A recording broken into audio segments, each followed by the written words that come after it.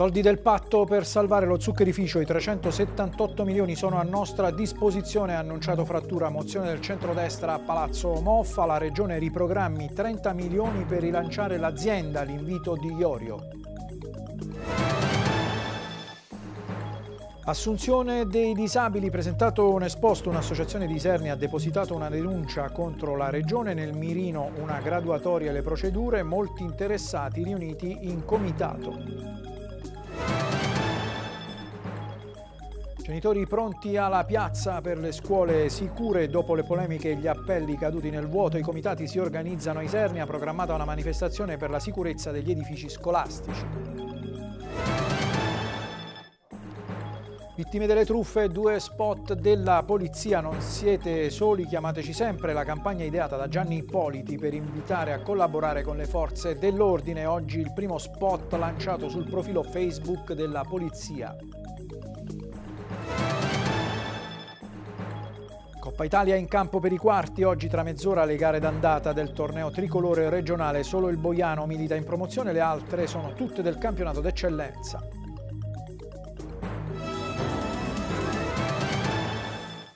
Un saluto dalla redazione a tutti voi, edizione delle 14 del nostro telegiornale. In apertura parliamo dei soldi del patto per il Matese nella giornata in cui il governatore, lo vedremo tra poco, ha annunciato che i 378 milioni previsti per opere eh, inserite in quello che è stato eh, chiamato patto per il Molise, ricorderete sottoscritto all'università insieme al Premier Renzi, sono a disposizione, lo ha certificato la Corte dei Conti. Mentre arrivava questa notizia arriva anche la mozione del centrodestra in Consiglio regionale con la quale eh, i, gli esponenti del centrodestra con eh, Iorio in testa chiedono che venga riprogrammata una parte di quel patto e che 30 milioni eh, siano destinati al rilancio dello zuccherificio, il servizio di Anna Maria Di Matteo. La mobilitazione dei lavoratori dello zuccherificio non si ferma. Il presidio va avanti intanto nel corso dell'ultima seduta del Consiglio regionale una delegazione ha organizzato un sit-in davanti ai cancelli di Palazzo Moffa per sollecitare risposte dalla regione, risposte che tardano ad arrivare peggiorando ogni giorno che passa una situazione già grave. A prendere l'iniziativa tuttavia l'ex presidente della giunta regionale Michele Iorio che tra l'altro all'indomani della chiusura dello stabilimento era andato a portare dare la propria solidarietà ai lavoratori in presidio, ma oltre alla solidarietà l'ex governatore ha preparato una proposta per rilanciare la filiera saccarifera e salvare i posti di lavoro contenuta in una mozione di cui è primo firmatario sottoscritta dai colleghi di opposizione Cavaliere Fusco e Sabusco e presentata in Consiglio regionale. La proposta prevede la riprogrammazione dei fondi del patto per il Molise destinando 30 milioni di euro al rilancio della filiera dello zucchero. Dei 30 milioni milioni 25 dovranno essere utilizzati per l'attuazione di un programma operativo dedicato alla filiera produttiva dello zucchero e dei suoi derivati, con strumenti e sistemi agevolati capaci di sostenere il settore. I restanti 5 milioni andranno invece finalizzati al sostegno, al reddito e al ricollocamento dei lavoratori. La mozione dunque chiede impegni ben precisi al Presidente della Regione anche perché ad oggi, a parte gli annunci, nulla si è mosso. Occorre individuare una strada che consenta di accelerare le procedure perché anche l'area di crisi non complessa annunciata come la soluzione al problema e di cui potrebbe beneficiare l'impianto saccarifero prevede tempi lunghi, troppo lunghi per i lavoratori che invece non possono più aspettare. Le risorse del patto per il Molise ha dichiarato Frattura, come avevamo anticipato poco fa, 378 milioni di euro sono a nostra disposizione. La Corte dei Conti ha registrato le due delibere adottate dal CIPE, ha aggiunto il governatore da Palazzo Vitale, il 10 agosto sulla ripartizione e l'assegnazione del Fondo di Sviluppo Coesione 2014-2020. Avviamo, ha aggiunto Frattura, la costruzione del patto firmato a fine luglio con il Presidente del Consiglio Renzi. Iniziamo a dare concretezza ai contenuti con la pubblicazione sulla Gazzetta Ufficiale nei prossimi giorni. Attiveremo le azioni destinate alla crescita del Molise. Si apre un altro fronte però, quello delle assunzioni dei disabili, un caso che ha messo in moto eh, soprattutto le associazioni che hanno presentato un esposto contro la Regione, ce ne parla in questo servizio Pasquale Di Bello. Dalle parole ai fatti, la sezione provinciale di Sernia dell'Associazione Nazionale Mutilati e Invalidi Civili ha preso carta e penna e con un esposto denuncia ha chiesto agli inquirenti di fare piena luce sulle procedure che hanno portato alla selezione di quattro persone da avviare al lavoro presso la Regione Molise. Le quattro assunzioni destinate ad altrettanti disabili, secondo quanto previsto dalla normativa nazionale legge 68 1999 e da un'apposita convenzione stipulata tra la Regione Molise e la provincia di Campobasso, avrebbe dovuto rispettare il criterio della chiamata nominativa. In realtà la Regione Molise ha proceduto, secondo più voci impropriamente, a selezionare le quattro persone sulla base di un mero elenco la cui graduatoria, come se fosse un normale concorso, è stata stilata da una commissione nominata dalla stessa Regione. In molti, sin dal primo momento, hanno sollevato dubbi, sino a quando il caso è scoppiato ed è oggi finito sul tavolo degli investigatori. Scopo dell'iniziativa messa in campo dall'Associazione Mutilati e Invalidi è quello di fare piena chiarezza sulla vicenda. Alla stessa associazione possono fare riferimento i numerosi disabili che hanno manifestato il proposito di riunirsi in un comitato a tutela delle loro ragioni. La vicenda riguarda oltre 100 persone. L'Amnic ha ritenuto doveroso esporre una denuncia alla Procura della Repubblica. Ho eh, ritenuto che la delibera fatta fatta dalla regione che determinava la, l'assunzione dei disabili era poco chiara. E questo perché? Perché c'erano i, eh, quattro, i quattro disabili nominativi che dovevano essere inseriti al mondo del lavoro. Guardando quello che era il bando, ho ritenuto opportuno chiedere delle delucidazioni. C'è stata una commissione nominata dalla stessa regione, dobbiamo vederci chiaro. Io mi aspetto che i disabili del Molise, coloro che hanno partecipato a questo bando, si facciano avanti perché i diritti dei disabili disabili sono dei diritti che non possono essere dimenticati. Dalla Regione per ora nessun commento, salvo qualche volgare insulto lanciato da un dirigente via Facebook, tutto tace. Ora, dopo la denuncia, saranno gli inquirenti a dire come sono realmente andate le cose. Parliamo di sicurezza degli edifici pubblici, un tema particolarmente sentito, per questo ha detto il consigliere regionale dei 5 Stelle Antonio Federico, eh, il movimento eh, oltre a sostenere un ordine del giorno sull'anagrafe dell'edilizia scolastica sta lavorando a una proposta di legge sul cosiddetto fascicolo del fabbricato, una specie di carta di identità dei palazzi. La proposta, ha concluso Federico, sarà presentata nei prossimi giorni. Ma non si abbassa la guardia a Isernia, le proteste dei comitati si trasformeranno in, una manifestazione di piazza, ce ne parla Enzo Di Gaetano.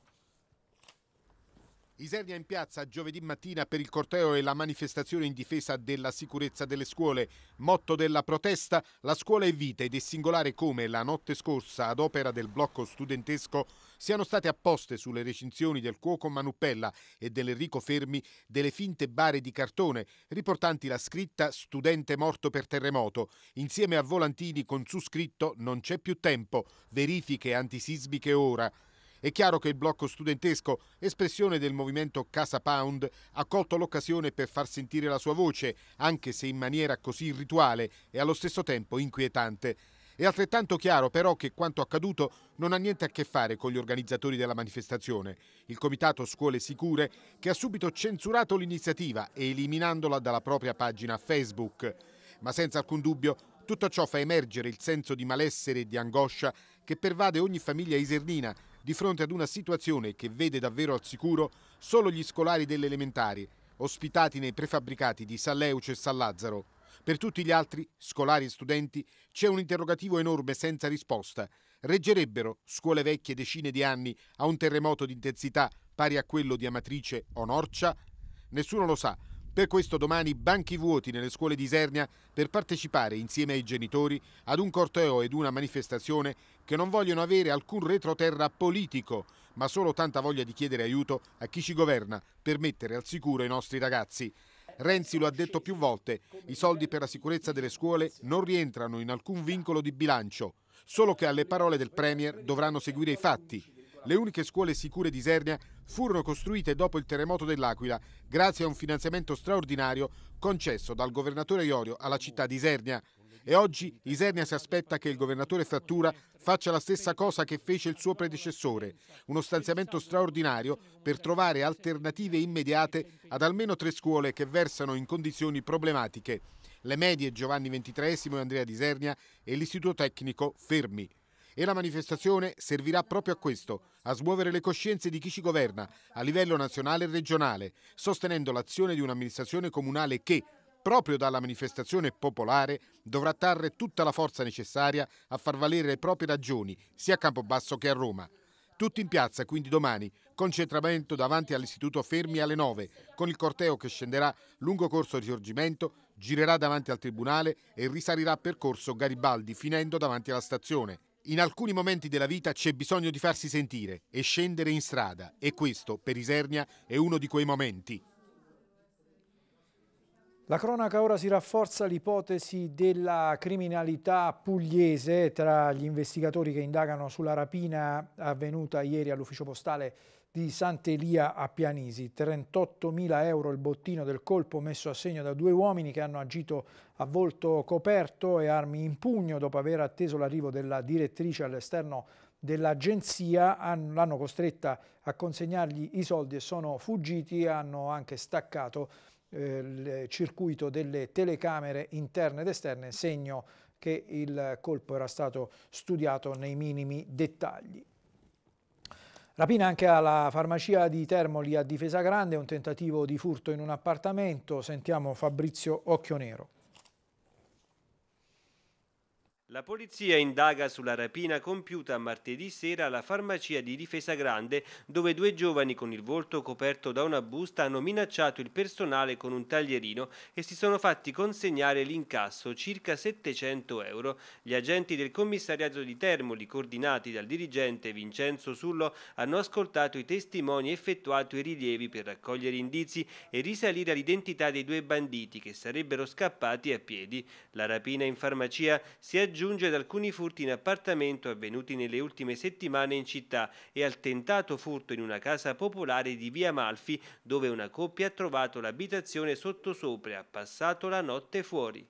Ieri sera siamo andati a mangiare dagli amici e appena sono tornato ho aperto la porta come sempre tutte le sere ho trovato una brutta sorpresa che ho trovato tutte queste cose aperte, sti petti e mi sono bloccato, ho detto a mia moglie ferma non entrare perché ci sono stati dei ladri, io pensavo che fosse un terremoto, ma non l'ho sentito. Hanno preso qualcosa? Non hanno preso niente, eh, solo disordine hanno fatto. Non so che cosa andavano trovando, mm, non lo so. Per entrare i ladri hanno raggiunto l'appartamento al primo piano arrampicandosi sul muro e i tubi del palazzo e forzando il balcone del soggiorno. Tanta paura? Sì, perché potevo, ci poteva capitare nel momento che stavo qui a casa. Io ringrazio che non mi sono trovata perché um, già sono rimasta traumatizzata quando abbiamo visto questa sorpresa. Poi la paura c'è ancora perché quando stamattina siamo rientrati mi faceva senso entrare qui dentro. E quindi la paura c'è ancora un episodio su cui va fatta chiarezza. Abbiamo lasciato così sta roba eh, sottosopra perché dobbiamo fare la denuncia per gli indagini dai carabinieri. Dai carabinieri alla polizia che ha organizzato una campagna contro le truffe agli anziani. Il titolo è eh, non, la, non, siete soli, chiamateci sempre. Uno dei due spot è stato presentato sul profilo Facebook della polizia, lo vediamo nel servizio di Tonino Danese. In Italia le truffe ai cittadini con più di 65 anni sono purtroppo tante, aumentate del 19% nei primi sei mesi del 2016 rispetto allo stesso periodo dell'anno precedente. Le forze dell'ordine sono impegnate sul tema non solo sul territorio ma anche con campagne informative di sensibilizzazione per contrastare il fenomeno. La polizia ha messo a punto la campagna Non siete soli, hashtag chiamateci sempre. Due gli spot ideati da Gianni Politi, uno degli spot è stato lanciato nelle scorse ore attraverso il profilo Facebook della Polizia di Stato sul solco di quanto iniziato in estate In pochi secondi vengono mostrate le truffe più ricorrenti, quelle tra le mura di casa, in cui malfattori si presentano come appartenenti alle forze dell'ordine, tecnici del gas o altro. La maggior parte delle truffe agli anziani avviene tra le mura domestiche. I truffatori si presentano curati e ben vestiti? Vi sorridono mostrandosi gentili e disponibili? Dopo essersi presentati, quello che vi raccontano sembra credibile? Prima di far entrare degli sconosciuti in casa, verificate con una telefonata. Non siete soli. Chiamateci sempre. Mai fidarsi degli sconosciuti, dunque, che si presentano alla porta di casa. Prudenza, cautela e soprattutto chiamare la polizia e le campagne di sensibilizzazione che abbiamo portato avanti, fa sapere la polizia, hanno prodotto due effetti positivi. Il primo, che gli anziani sono sempre più informati sui raggiri e riescono sempre più spesso a sventare loro stessi le truffe. Il secondo effetto è una maggiore consapevolezza del fenomeno che porta a reagire meglio e a denunciare questi reati, contribuendo così a reprimerli.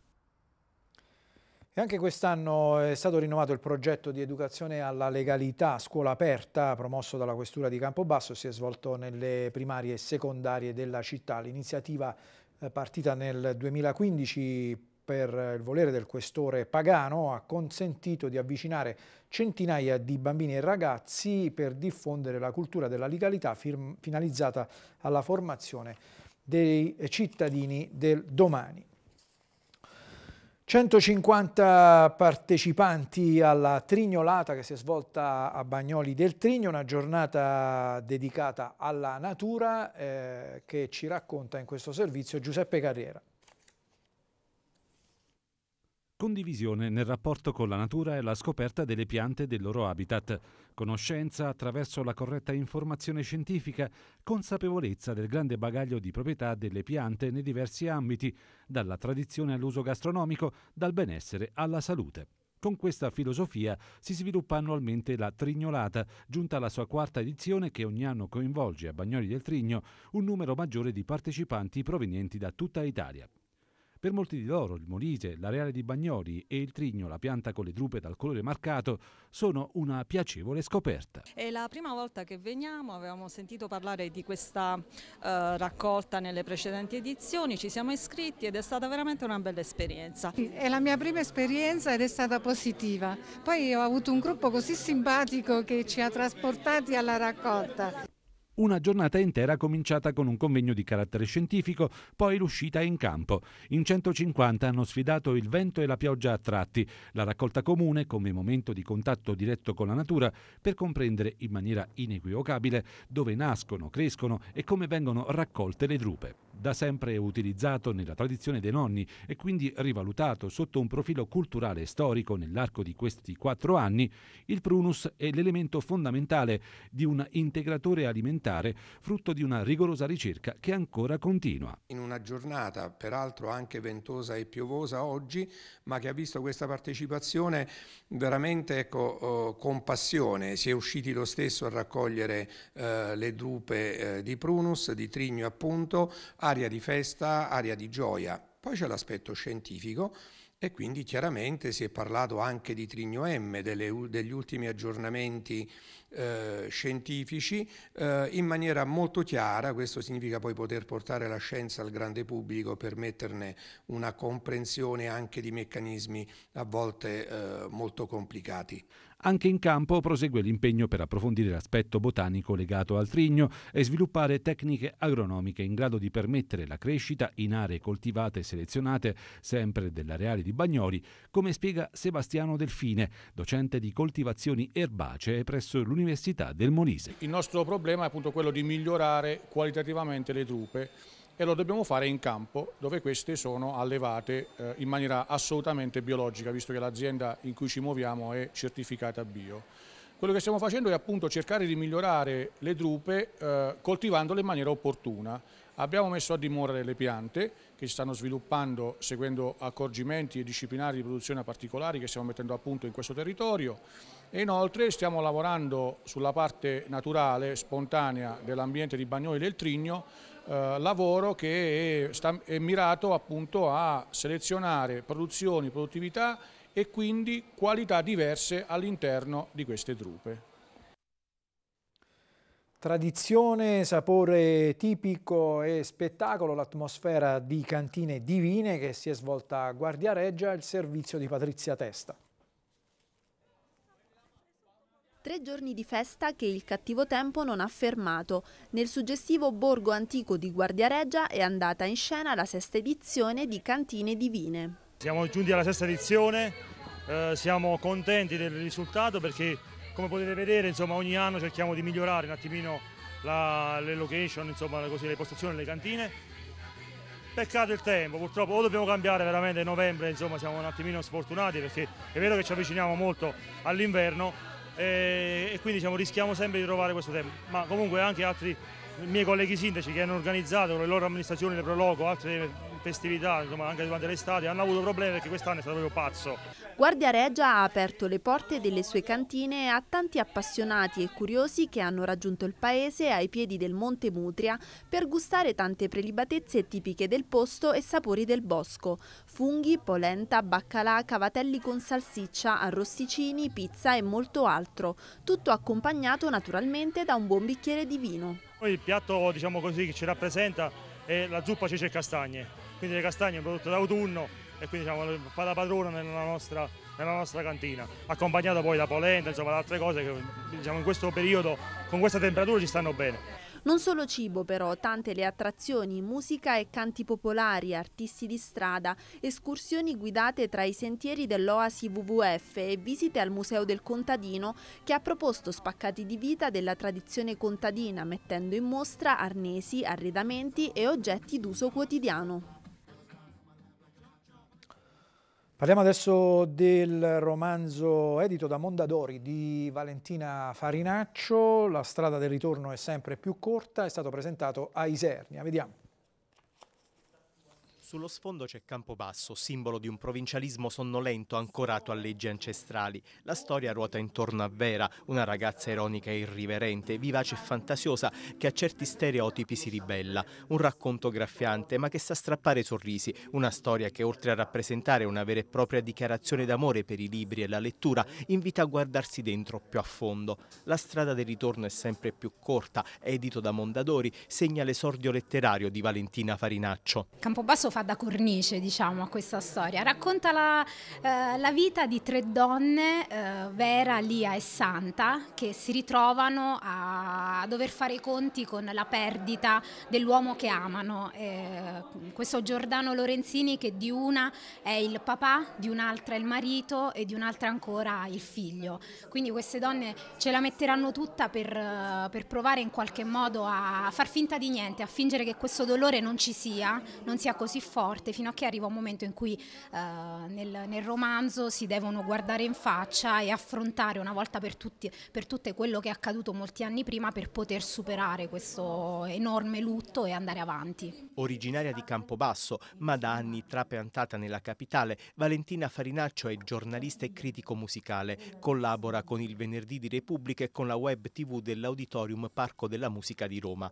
A questo suo primo romanzo affida anche riflessioni profonde, mette in luce gli stati d'animo che toccano la vita di ognuno di noi, come il dolore. Per superarlo indenni, dice, bisogna affrontarlo. Una cosa di cui io sono, sono certa, cioè per riuscire veramente a, a, metabolizzare un dolore bisogna passarci dentro, superarlo proprio, non, non, non si può chiedere uno sconto al dolore e quindi questo libro racconta proprio di questo, di come si possa passare eh, attraverso il dolore però anche con leggerezza perché eh, le donne donne che, che, riempiono questo libro sono delle donne eh, che appunto vivono una tragedia, però a loro modo sono donne eh, che, leggere, lievi, che riescono a prendersi in giro, a ironizzare e quindi il risultato è che ehm, la storia che loro vivono è straziante, però allo stesso tempo riesce ad essere anche eh, divertente. Vi ricordo l'appuntamento di stasera con Milibar in onda alle 21, si parlerà di transumanza eh, con eh, gli ospiti in studio eh, Letizia Bindi, docente di antropologia all'Università del Molise, Fabio Pilla, docente di zootecnia sempre dell'Unimol e Antonio D'Ambrosio insieme a Pasquale Di Bello, l'appuntamento è alle 21. È tutto con eh, questa notizia, chiudiamo l'edizione delle 14 del nostro telegiornale, vi lascio alle previsioni del tempo, tra poco più di mezz'ora ci ritroviamo per gli aggiornamenti. Grazie e a più tardi.